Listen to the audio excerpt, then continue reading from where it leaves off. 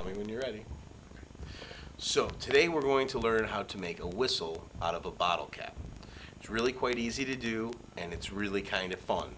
So all you do, show you my hands here, is make a V with your knuckles and then you blow over the top of your knuckles down into the triangle of the V. And here we go. You ready? Wow. And we're done.